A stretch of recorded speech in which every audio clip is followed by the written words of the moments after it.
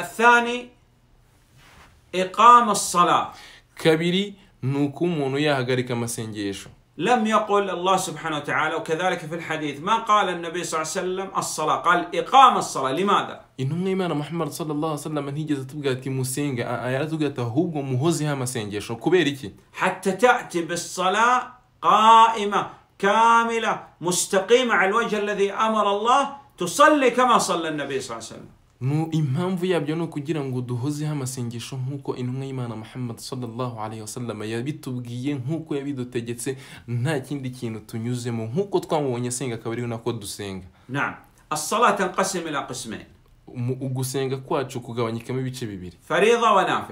Harimo amasengesho y'amategeko n'amasengesho atari amategeko.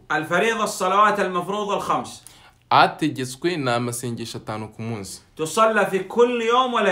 Asengwa buri munsi ku manywa nijoro والجمعة في كل أسبوع hanyuma n'iswara y'ijuma nayo ni itegeko kuri buri cyumweru الرجل العاقل البالغ لابد يصلي مع الجماعة في المساجد hanyuma umugabo utekereza ufite ubwenge buzima ndetse wagejeje n'igihe cy'ubukure ni itegeko y'uko asengera mu musigiti.